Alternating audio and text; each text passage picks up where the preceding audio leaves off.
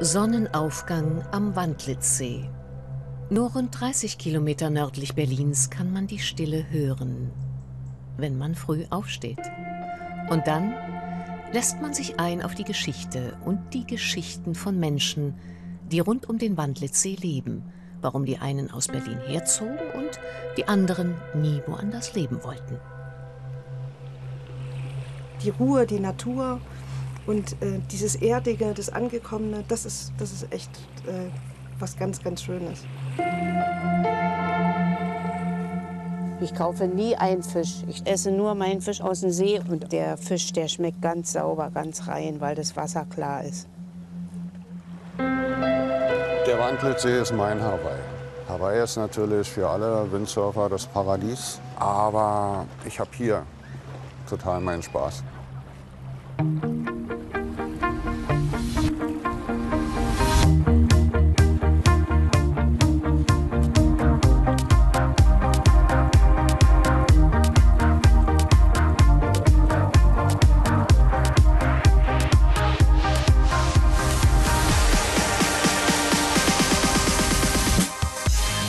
Carsten Fehmer gilt am Wandlitzsee als graue Eminenz der Surfkunst.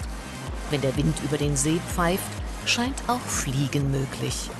Mit den Windfäulen. Kufen raus und mit 40 Stundenkilometer über den See jagen. Man braucht eine gewisse Geschwindigkeit. Und wenn man dann sein Gewicht verlagert, kommt das Board raus. Und heute, der Wandlitzsee ist wieder so ruppig, wir haben so West, Südwest. Das heißt also, kommt da hinten übers Land, hat keine richtige Anlaufsfläche und da draußen sind eben zwischen zwei und fünf Windstärken. Und das macht das Fliegen dann nicht einfacher. Fliegen ist die hohe Kunst des Surfens. Auch seine Kollegin Christine oder seine Lebensgefährtin Silke, die hier Kurse geben, scheinen auf den Brettern angewachsen. So zu surfen lernt man nicht nebenbei. Seit 40 Jahren steht Carsten Fehmer auf den Brettern, die ihm die Welt bedeuten. Ich habe mit meinem Bruder zusammen Anfang der 80er Jahre hier angefangen.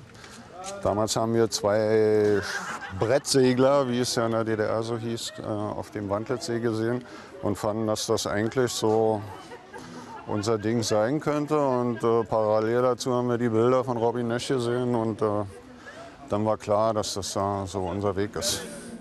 Robbie Nash, der Star des Windsurfens. Der Trendsport aus den USA als Nische für renitente Hobbysportler, die den Klassenfeind bewunderten. Für Carsten Fehmer wurde Brettsegeln schon damals zum Lebensmittelpunkt. Doch erst nach dem Mauerfall machte der Elektronikfacharbeiter sein Hobby zum Beruf. 1991 gründete er hier sein Surfcenter, flog oft in die Karibik, auch nach Hawaii.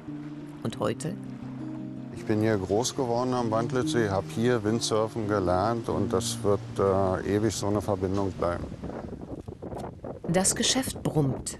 Die Saison läuft, wenn das Wetter mitspielt, traumhaft. Abheben wird er dennoch nicht. Man darf auch beim Surfen die Bodenhaftung nicht verlieren, sagt Fema. Und außerdem, die Welt auf dem Wasser ist eine andere. Am Windsurfen ist einfach faszinierend, wenn du draußen auf dem See bist, dann sind alle Sorgen um dich herum vergessen. Du bist mit dem Wind allein, du gleitest über das Wasser und das ist immer wieder ein Stück Freiheit.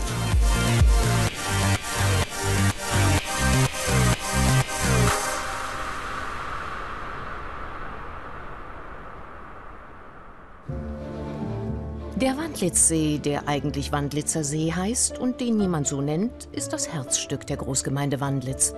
Der einst beschauliche Ort wird seit Beginn des 20. Jahrhunderts von den Berlinern als Ausflugsziel erobert. Im Halbstundentakt fährt die Heidekrautbahn im Sommer in den noch immer recht stattlichen Bahnhof ein.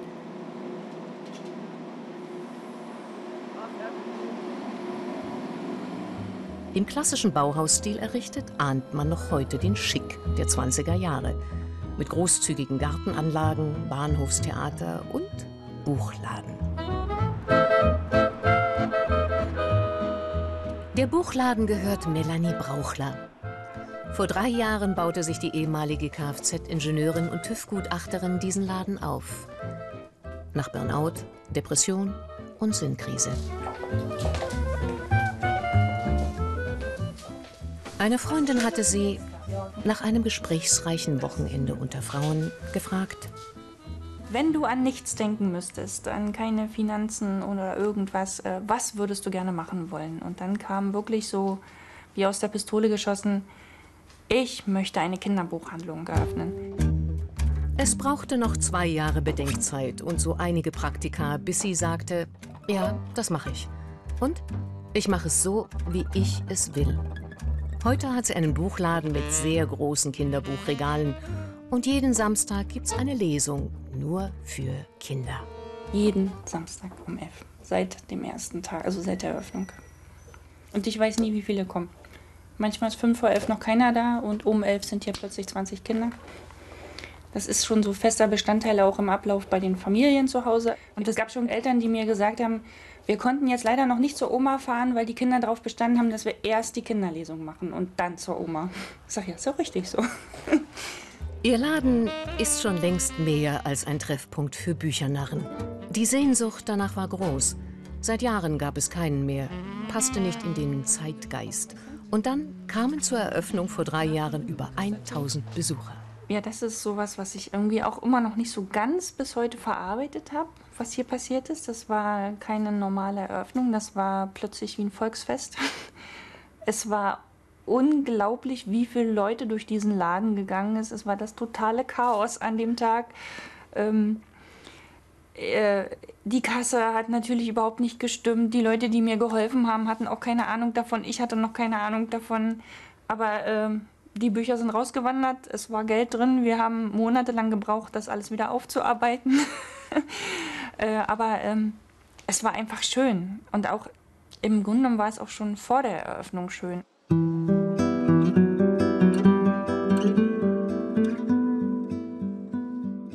Schon bevor sie den Laden eröffnete, als sie noch malerte, werkelte, umbaute, kamen die Wandlitzer und fragten, was das hier wird und ob sie helfen könnten. Wildfremde Leute wie Annette Busch. Dieser Laden hat alles, was die Welt manchmal nicht braucht, aber was ganz wichtig ist für uns, um einfach zu überleben. Hier kannst du herkommen, hier kannst du runterkommen. Hier ist immer schön. Und hier gehst du raus, auch wärst fast verzweifelt, dann gehst du hier raus und dann bist du irgendwie happy. So geht mir das. Das ist für meine Seele gut. Balsam für die Seele sind auch die monatlichen Lesungen oder das Literaturfest im August. Das organisiert Melanie Brauchler allein jedes Jahr. Einen ganz ordinären Wochenmarkt mit regionalen Anbietern, organisiert von der Gemeinde, gibt es nicht in Wandlitz. Und das sind nur einige ihrer verwirklichten Träume. Ich möchte die verrücktesten Leute hierher holen. Und ich möchte, also eigentlich ist so mein Ziel, wenn ich äh, einen Autor anrufe und sage, äh, hätten Sie Lust in die Buchhandlung Wandlitz zu kommen, dass er schon weiß, wer ich bin. Es wird wohl noch etwas dauern, bis sich auch dieser Wunsch erfüllt. Jetzt, nach dem Literaturfest, geht wieder mal ein Zwölf-Stunden-Tag zu Ende. Und wieder mal sind Sie und ihre Helfer nur an Erfahrung reicher geworden. Aber der Ausblick abends ist umwerfend, wenn sich die Sonne spiegelt in ihrem Schaufenster und im Wandlitzsee. Der liegt gleich gegenüber, nur 500 Meter entfernt. Die Idylle pur, doch sie trügt. Der Wandlitzsee mit 215 Hektar, der größte See der Umgebung, sorgte vor Jahren für heftigen Streit. Der Grund hieß Werner Becker. Der Düsseldorfer Anwalt kaufte 2003 für 400.000 Euro den See von der Treuhand-Nachfolgerin und brachte tausende Einwohner gegen sich auf. Beckers Erklärungsversuch in einem Interview. Bei einigen gelte ich wohl hier als der größte Arsch nördlich des Äquators. Nicht? Da kommt so ein Wessi und kauft äh, Honeckers alten See und macht da jetzt was draus. Nicht? Das geht ja nun gar nicht. Honecker gehörte der See natürlich nie. Für Werner Becker ist er aber nichts anderes als ein Acker. Den kauft man und macht ihn zu Geld. Ganz marktkonform. Die Anleger hatten für ihren Zugang zum Wasser zu zahlen. Und auch die Gemeinde musste tief in die Kasse greifen für Strandbad, Turm und Steg.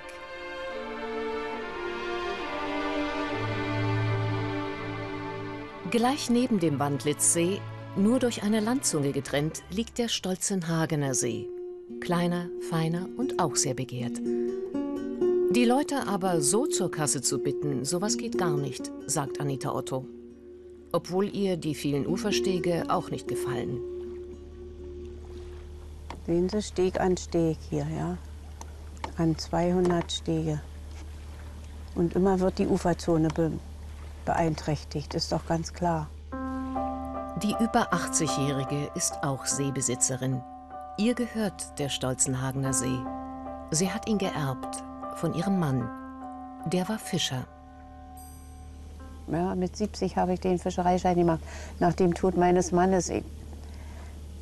Da musste ich ja mitreden können, sonst geht es auch nicht. Ne? Ich kann doch jemandem was befehlen, von dem ich keine Ahnung habe. Geht nicht.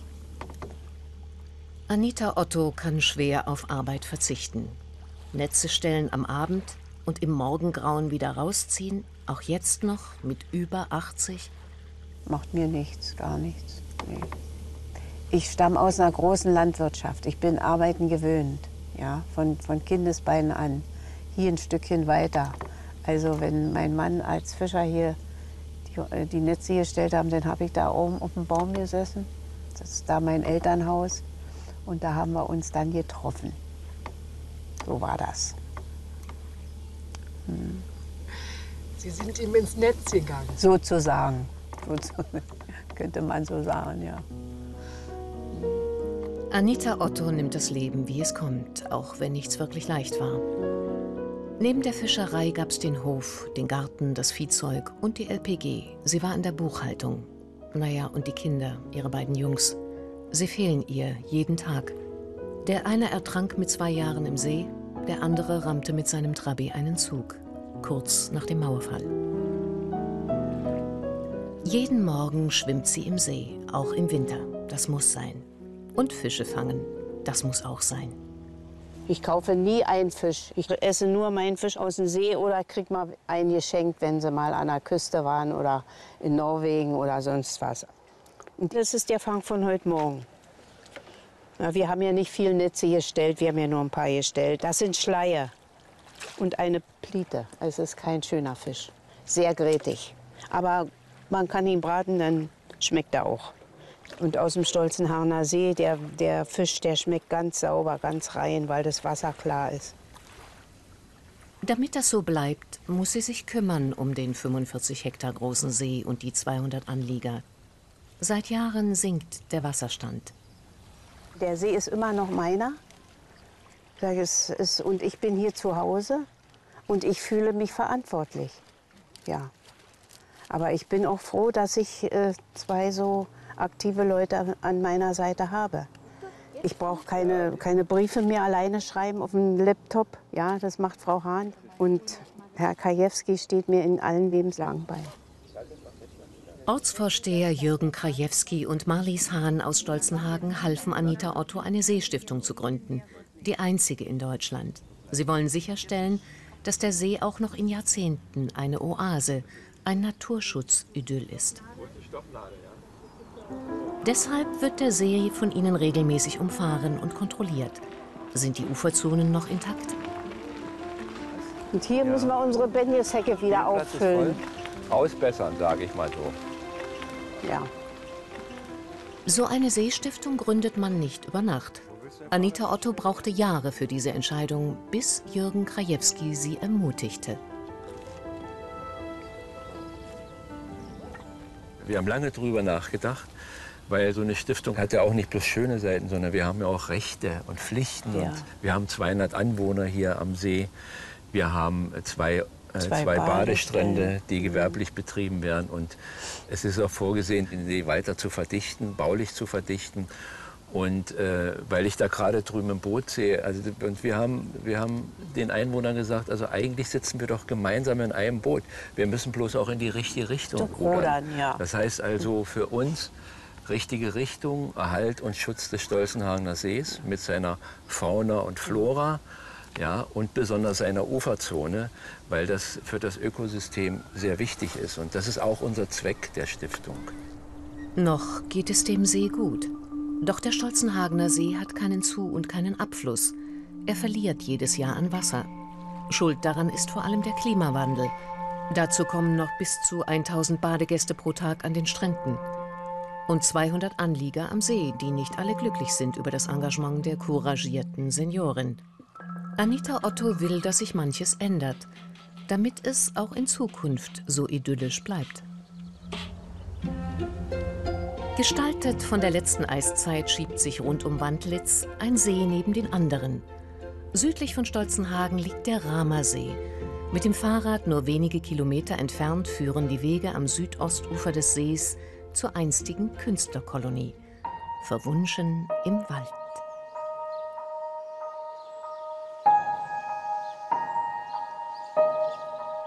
Damals bekannte Berliner Schauspieler wie Rudolf Platte oder Eugen Klöpfer bauten sich hier in den 1920er Jahren ihre Sommerhäuschen unweit des Strandbades.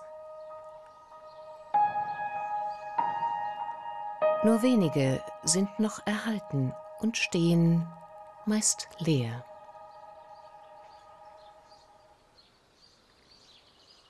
Am Ramer See ist an einem lauen Sommerabend auch ein ganz besonderes Schauspiel zu erleben. Schwäne, die magisch über den See ziehen, unwirklich schön. Es sind Geschöpfe von Menschenhand, digital gesteuert, verzaubern sie die Nacht, begleitet von jungen Musikern.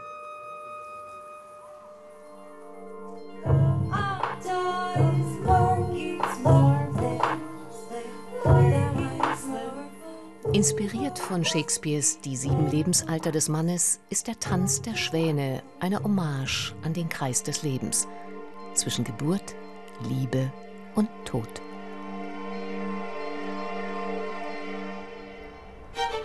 Das Leben dagegen tobt, wie so oft am Strandbad des Wandlitzsees. Doch heute will hier niemand baden. Wie jedes Jahr findet im September der Jedermannlauf statt. Unter den Teilnehmern Anita Otto mit ihrem Seniorentrupp auch Melanie Brauchler startet mit 20 Kunden.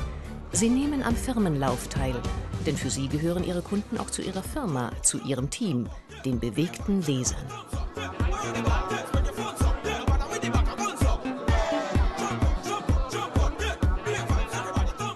Ja, weil wir ja nicht nur lesen, sondern weil wir ja noch mehr machen. Wir bewegen uns, wir wollen uns fit halten und das wollen wir auch beweisen.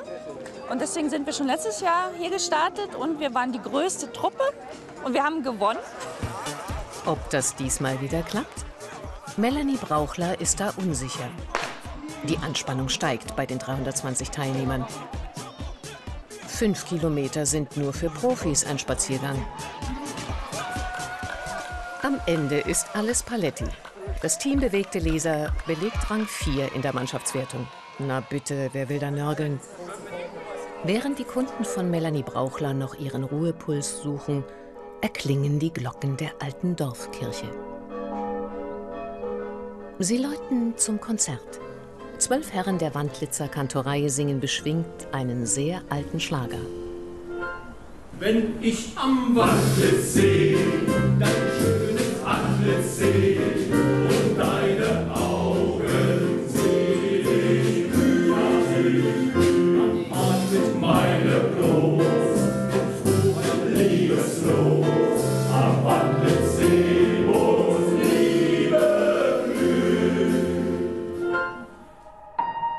Diesen Gassenhauer von 1932 ließ sich die Gemeinde als Werbesong fürs Strandbad schreiben. Vom jüdischen Komponisten Karl Alfredi. Der starb 1945 im KZ Theresienstadt.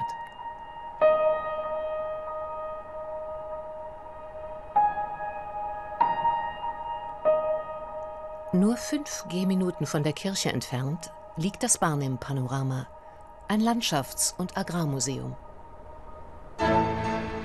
Mit originellen Ausstellungen wie zu Traktoren der Marke Eigenbau aus DDR-Zeiten. Was sich da ins Bild schiebt, ist ein Kleinstraktor. Jürgen Lehmann setzt sein Ausstellungsstück für die Kamera ins rechte Licht. In diesem Jahr schenkte er seine beiden Landmaschinchen dem Museum und wischt jetzt ein bisschen Staub von einer seiner Legenden. Wie alt ist denn das gute Stück? Die hier, die ist älter als ich. Also Baujahr 1932. Das ist ja Wahnsinn. Was ist denn das eigentlich? Na, das ist eine, eine, eine Bungarts Bodenfräse gewesen. Also im Prinzip das gleiche wie jetzt, bloß mit einem anderen Motor. Für den alten Bungatz bekamen sein Vater und er nach dem Krieg keine Ersatzteile in der DDR. Bungatz wurde zur Westfirma und im Osten mussten sie nehmen, was sie kriegen konnten. Also haben Vater und Sohn, die beiden Gärtner, improvisiert. Die Grober, das sind äh, Teile praktisch von, von größeren Landmaschinen gewesen. Da sind dies, dieselben Grober dran gewesen. Und bloß dafür haben wir diesen, diesen Rahmen zusammengeschweißt und dann das eben mit diesen Dingern gemacht. Das ist alles DDR-Produktion. Die Reifen hier sind Trabant und die Kupplung ist auch Trabant. Diese Kleintraktoren würden heute noch funktionieren, wenn sie nicht im Museum stünden. Hier sieht man alle Facetten der früheren Landarbeit, ihre Schönheit und ihre Härte.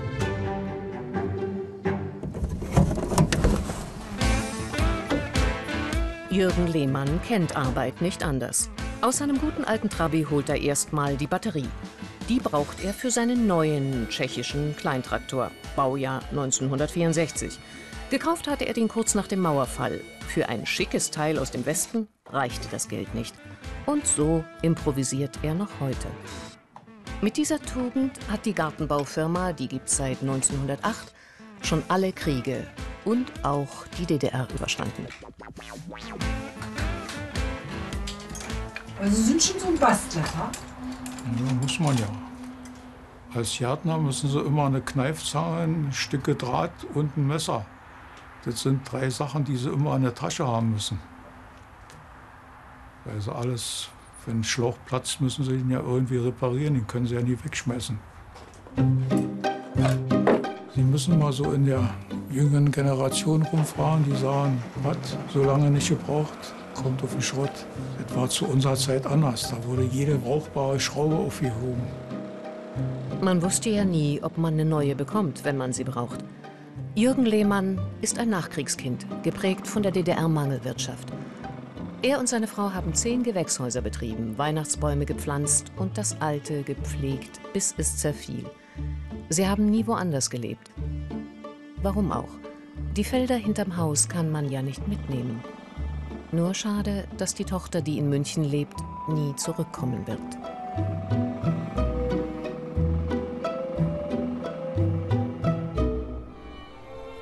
Schon seit 1901 bringt die Heidekrautbahn die Berliner ins schmucke Umland. Über Schönerlinde und Schönwalde geht's nach Basdorf. Und schon ist man mittendrin in Wandlitz. Neun Dörfer gehören zur Großgemeinde mit 21.000 Einwohnern. Und es werden jedes Jahr mehr. Und Dörfer wie Basdorf erleben einen ungeahnten Aufschwung, auch kulturell. Seit 2004 findet hier jedes Jahr ein deutsch-französisches Chansonfestival statt. Organisiert unter anderem von Marion Schuster, treffen hier französische, deutsche, israelische und auch arabische Künstler aufeinander. Viva le Tabash, der kam 2015 zu dem Verein. Er lebte gegenüber im Flüchtlingsheim, sang gern und wollte Gitarre spielen lernen. Wir vom Verein haben gesagt, gut, wir finanzieren das. Und so war Walid äh, erstmal mit dem Gitarrenunterricht dann beschäftigt und dann haben wir gesagt, wir hätten dich unheimlich gerne beim Festival dabei. Er singt fantastisch und es hat uns so viel Freude gemacht, dass er dazu kommt. Ich, ich habe natürlich mich riesig gefreut, wenn, wenn ich äh, den, den Verein kennengelernt und auch ein Teil davon also geworden, weil dann musste ich nicht immer musste ich nicht immer alleine sein, sondern hatte ich auch Freunden. Ich habe viele kennengelernt. Mali Tabasch, der aus Aleppo in Syrien stammt, ist schon längst in Deutschland angekommen. Er lebt heute in Berlin. und macht eine Ausbildung zum Mediengestalter.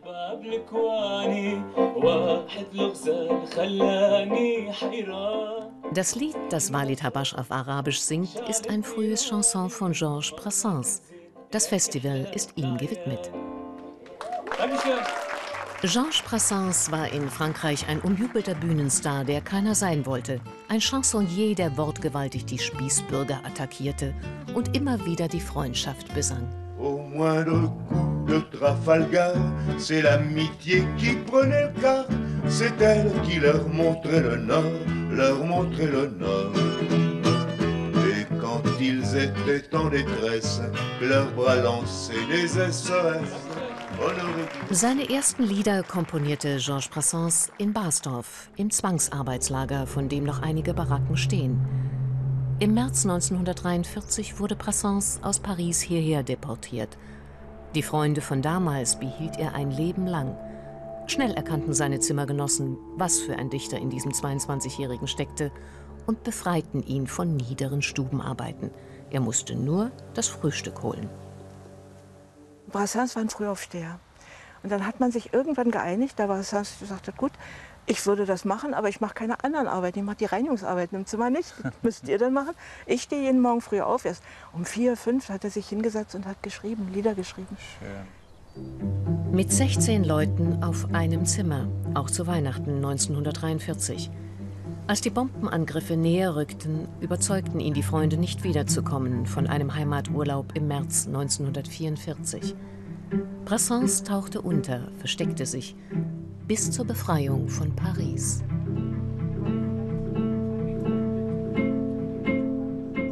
Von Wäldern umgeben stand nahe Basdorf während des Nationalsozialismus ein riesiges Rüstungswerk, die Bramo, ein Flugzeugmotorenwerk.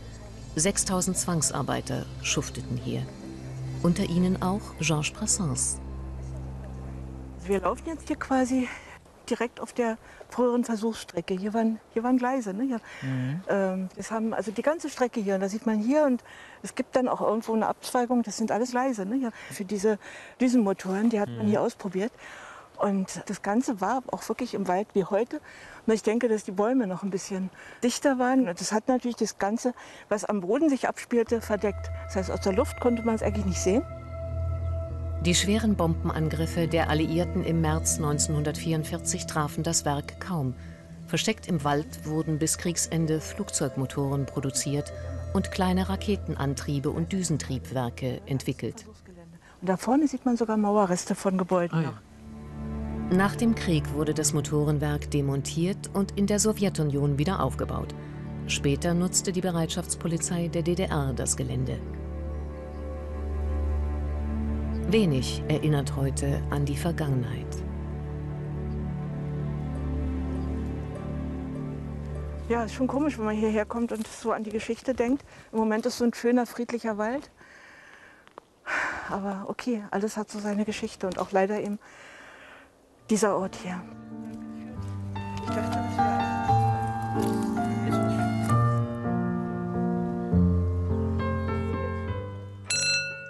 Müssen muss man nicht ins Heidekrautbahnmuseum, aber man sollte. Vor 20 Jahren zogen die Eisenbahnfreunde aus Berlin-Reinickendorf nach Basdorf. Jedes Wochenende reparieren, schrauben, warten sie ihre Elektro- und Dieselloks samt Wagen. Allesamt verkappte Hobbylokführer, denen die Modelleisenbahn zu klein wurde. Auch Kurt Tatzel, der Vereinsvorsitzende, wollte natürlich mal Eisenbahner werden. Als ich dann vor der Berufswahl stand, als Westberliner aus Reinickendorf, äh, wäre eben die alternative Bundesbahn, aber vorher Bundeswehr gewesen. Und da dachte ich, das wäre nicht so die richtige Kombination für mich. Und zur Reichsbahn der DDR in Westberlin wollte ich aber auch nicht. Und da war der Verein in Reinickendorf natürlich der passende Kompromiss. Das heißt, äh, am Wochenende Eisenbahn fahren und Montag bis Freitag dann in der Bank arbeiten. Seit über 30 Jahren ist er dabei und manche Geschichte von unscheinbaren Waggons klingt abenteuerlich. Das ist ein Triebwagen-Beiwagen, den wir 1982 gekauft haben von der Deutschen Bundesbahn. Und der ist dann 1982 von Vereinskameraden auf der Transitstrecke der Bahn durch die DDR überführt worden. Und praktisch als Begleiter waren dann bewaffnete Grenzorgane dabei, um eben zu verhindern, dass jemand einsteigt während der Fahrt. Und so kam man dann nach West-Berlin. Das Besondere bei diesem Beiwagen sind, finde ich, die Sitze, weil je nach Fahrtrichtung kann man praktisch als Fahrgast wählen, in welche Richtung man schauen kann. Man kann also immer in Fahrtrichtung schauen oder auch als Gruppe zusammensitzen. Reisen mit Blickwechsel. Ach, was waren das noch für Zeiten? Das Highlight heute sind die Fahrten von Basdorf nach Wandlitz, gern auch mit einer Elektrolok von 1934. Die spannendsten Geschichten stecken ja bekanntlich dort, wo man sie nicht mehr sieht. Nahe des Basdorfer Bahnhofs wurde extra ein Bahnsteig gebaut für den Sonderzug nach Wandlitz, zur Waldsiedlung. Seit 1960 die Enklave der DDR-Mächtigen, hinter hohen Mauern bewacht von 640 Stasi-Leuten. Heute ein Sitz der Brandenburg-Klinik. Baden gingen Honecker und Co. gern am nahen Liebnitzsee. Jetzt schaut man sich das Idyll lieber von oben an. Unten ist es im Sommer so trubelig wie in Berlins Mitte. Der Geheimtipp dagegen ist das sogenannte Seechen, gleich nebenan. Ein stilles Fleckchen, schwer zu begehen, weil morastig. Ein Segen für Ente, Eisvogel und Fischotter und für Romantiker.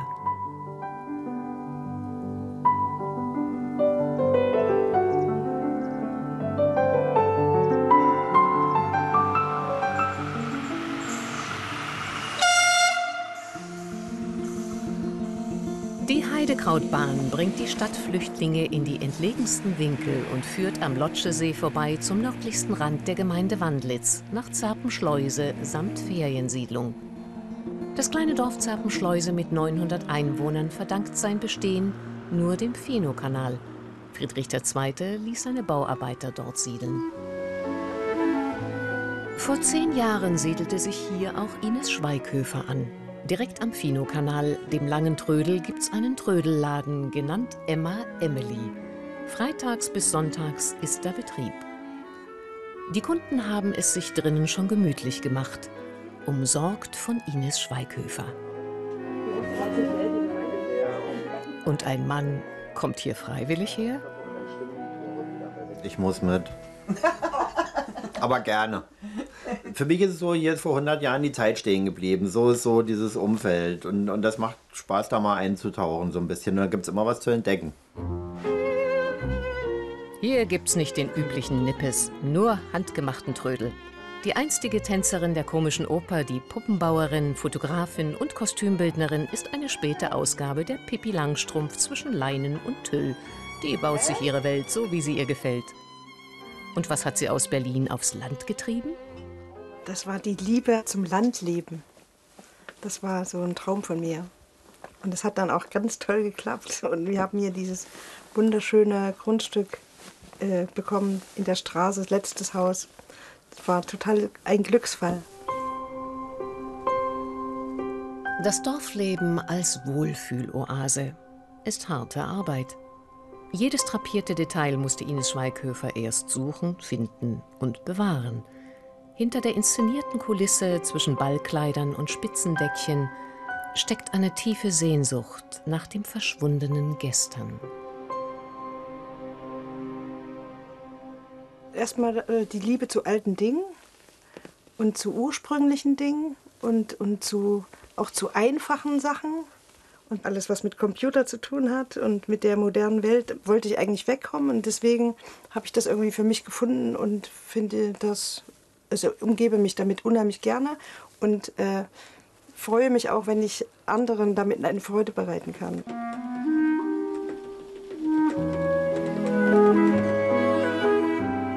Jedes Kleid ein Unikat. Mit ihrer Freundin Valerie näht sie in stundenlanger Kleinarbeit Leinenkleider und verziert sie zu einem Traum aus dem letzten Jahrhundert. Gerade die alten Materialien, die sind so toll. Leinen und, und Baumwolle, Batist, Tüllspitzen, das ist, das ist Leidenschaft pur und das, das ist so schön. Selten wurde Leinen so bewundert und zur Quelle der Inspiration. So ist ein Rohling, den Freundin Valerie hier anprobiert, erst der Beginn einer Kreation.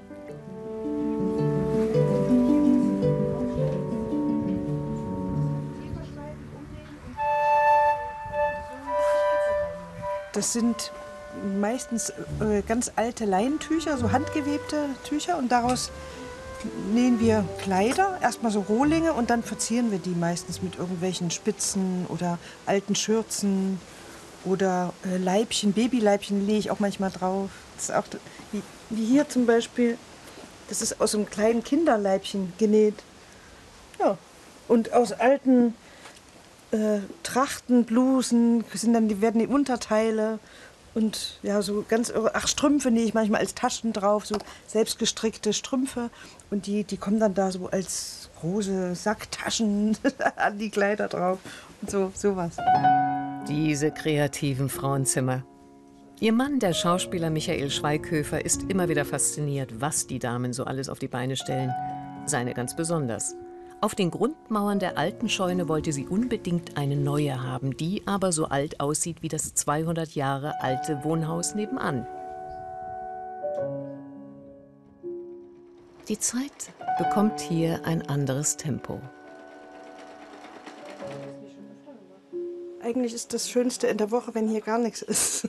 Weil das ist die totale Ruhe und dann diese Weite hinten, dieses Feld und der Wald und, und dann kommen die Füchse und die Rehe und, und auch Wildschweine. Und das ist alles so toll, die Ruhe, die Natur und äh, dieses Erdige, das Angekommene, das ist, das ist echt äh, was ganz, ganz Schönes.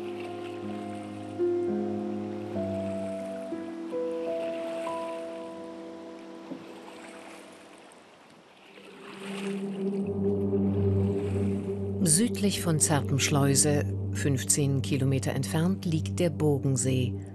Und im nahen Wald die einstige Villa von Propagandaminister Josef Goebbels.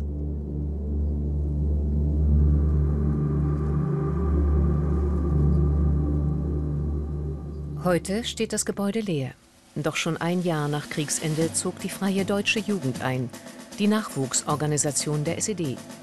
Die Villa wurde zur Kaderschmiede, zur Jugendhochschule der FDJ. 20.000 Studenten, auch aus linken Jugendorganisationen des Westens und aus sozialistischen Ländern, studierten in den folgenden Jahrzehnten am Bogensee.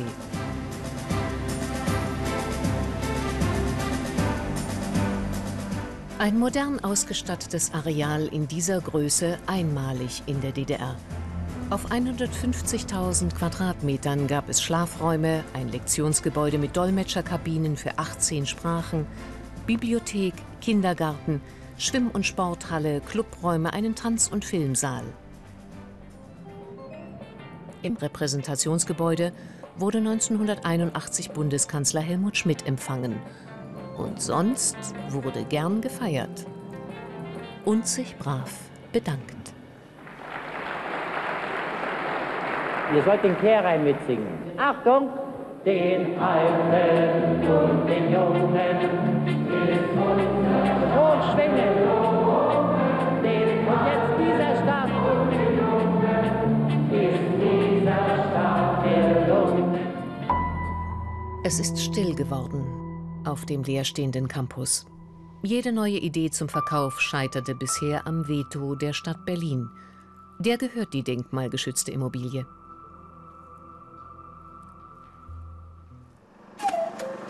Hausmeister Roberto Müller mäht jede Woche den Rasen. Er fühlt sich dann oft wie Don Quixote in Niemandsland und es überfällt ihn Wehmut. Der frühere Werkzeugmacher ist schon seit 1984 am Bogensee Hausmeister. Das Rote Kloster war eine Welt für sich. Roberto Müller fühlte sich in ihr zu Hause.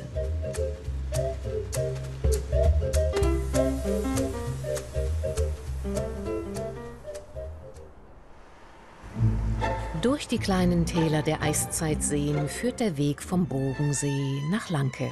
Vorbei an Schloss und Dorfkern ist der Obersee und das Seeschloss nicht zu verfehlen.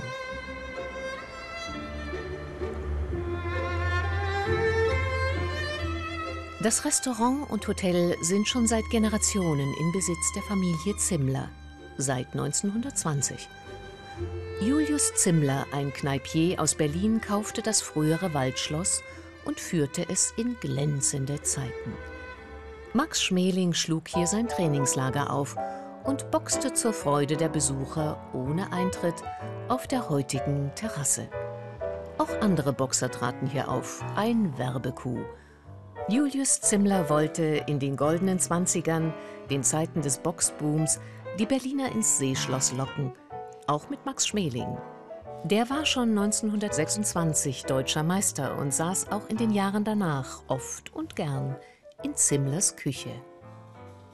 Es ist ja nicht so, dass er hier wie ein Gast behandelt wurde, sondern der war ja durch seine ständigen Aufenthalte, das Training, was er letztlich hier draußen gemacht hat, ja, das, das war ja doch sehr familiär hier draußen. Ne? Es ist eben ein Familienunternehmen und ähm, wir versuchen unsere Gäste heute noch so zu behandeln. Max Zimmler leitet heute das Seeschloss in vierter Generation. Der ausgebildete Gastronom konnte sich dieser familiären Verpflichtung nicht entziehen.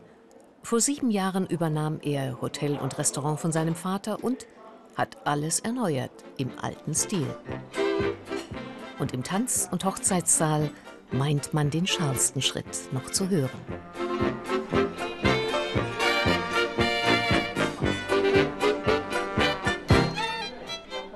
Gastronomie, Gastlichkeit, das ist ein uraltes Geschäft. Ja? Man muss das leben und dazu gehört immer ein Stück weit Nostalgie.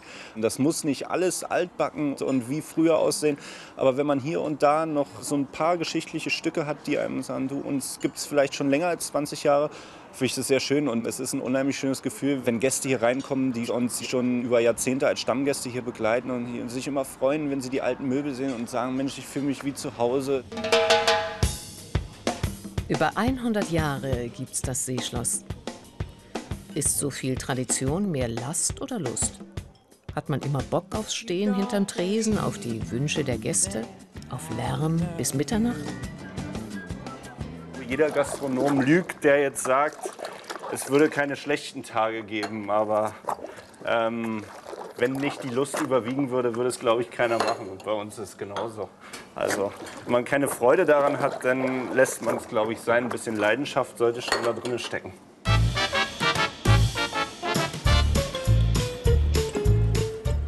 Max Zimmler hätte nach vielen anderen Stationen in Australien bleiben können, mit seiner Frau Patricia. Er hat sich entschieden für Familie und ein Leben mit 60-Stunden-Woche. Sein Erfolgsgeheimnis? Ich glaube, das Rückgrat jedes Unternehmens sind die Mitarbeiter. Und wir versuchen mit unseren Mitarbeitern eben eine Familie zu sein, anstatt der Chef zu sein und die Chefin. Und wie ist das jetzt? So vis-à-vis -vis mit dem Vater? Der hat gleich gegenüber am Obersee seine Fischgaststätte. Also der Konkurrent sitzt ihm nicht im Nacken? Doch. nee, nee. nee, der sitzt nicht genau. Also das hat, das hat er super gemacht. Ne? Also ich glaube, wir haben ähm, äh, zwei, drei Fischgerichte auf der Karte und äh, er macht ausschließlich Fisch. Ich glaube nicht, dass wir uns da gegenseitig das Wasser abgraben. Max Zimmler ist Mitte 30. In der Welt ist er ein bisschen rumgekommen. Das reicht, um zu wissen, wo er hingehört.